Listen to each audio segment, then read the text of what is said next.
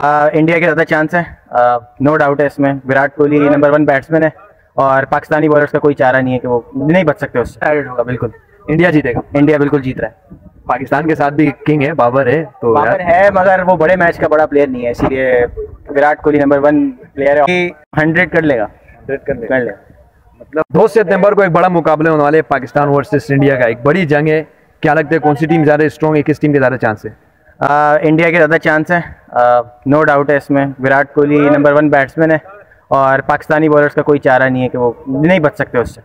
मतलब विराट कोहली कहीं ना कहीं के खिलाफ स्कोर कर देते हैं। वो करेगा बाकी करे ना करे वो करेगा और सिंगल हैंडली मैच जिताएगा। मतलब वन साइडेड हो गया वन मैच साइडेड होगा बिल्कुल। इंडिया जीतेगा। इंडिया बिल्कुल जीत रहा है। पाकिस्तान के साथ भी किंग है बाबर है तो बाबर है मगर वो बड़े मैच का बड़ा प्लेयर नहीं है इसीलिए Virat Kohli number one player है ऑल टाइम प्लेयर है वो प्रेशर को हैंडल करना भी जानते हैं। वर्ल्ड क्लास प्लेयर है तो उन पर पूरा फेथ है वो जितवा देगा इंडिया मतलब मुकाबला वन साइडेड होगा और इंडिया जीतेगा। बिल्कुल। क्या लगता है विराट कोहली कितने स्कोर करेगा? विराट कोहली हंड्रेड कर लेगा। हंड्रेड कर लेगा। मतलब विराट कोहली के फ़ैन लगते हो? जी बिल्कुल विराट कोहली का पक्का पक्का हाँ? पाकिस्तान के हरा रहे हो और मेरा फेवरेट प्लेयर जीत जाए मुझे और कुछ नहीं चाहिए। विराट कोहली आप पाकिस्तान को हराना चाह रहे हैं? बिल्कुल बिल्कुल। ये भाई विराट कोहली का बड़ा फ़ैन है। क्या लगता है उनका जो एक नया प्लेयर है शुभमन गिल क्या वो चल पाएगा या नहीं पाकिस्तान के खिलाफ? अहमदाबाद में उसने एक ही मैच खेला और उसने हंड्रेड मारी है और उधर उसका बैट भी चलता है। वो वहाँ पे भी स्कोर करेगा। मतलब वो भी डेंजर साबित होगा विराट भी साबित होगा। बिल्कुल होगा। बिल्कुल होगा।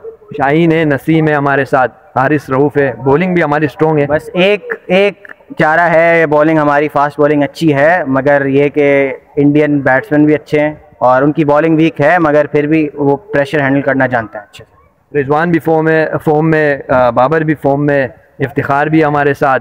हम्म, काफ़ी अच्छा टैलेंट है। मतलब वन साइडेड तो नहीं होगा मुकाबला होगा। देखें हम कहते हैं कि हमारे पास टैलेंट है हमारे पास एक्सपीरियंस है हमारे पास प्लेयर्स हैं मगर अभी अफ़गानिस्तान वाली सीरीज़ होगी।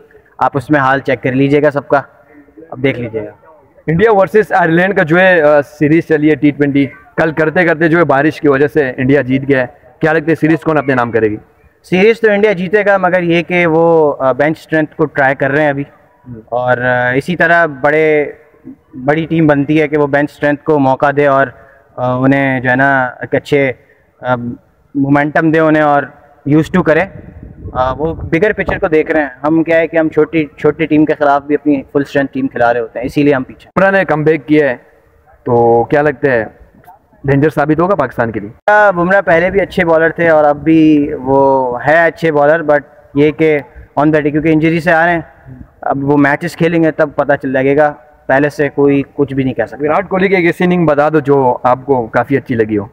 विराट कोहली की पिछली टी ट्वेंटी वर्ल्ड कप में जो उन्होंने एटी प्लस मारे थे वो बहुत ज़बरदस्त था। और पे चक्के जो हमारे बिल्कुल बिल्कुल बिल्कुल वो बहुत आउटस्टैंडिंग था। आई मीन इससे मतलब पक्के पक्के फ़ैन हो विराट बिल्कुल बिल्कुल।